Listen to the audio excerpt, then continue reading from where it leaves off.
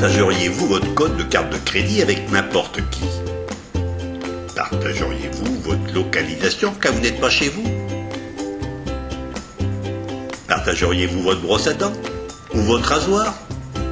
Partageriez-vous vraiment un masque chirurgical usagé? Vous ne le feriez pas? Vous utilisez des gants usagés? Non. Tout ne se partage pas.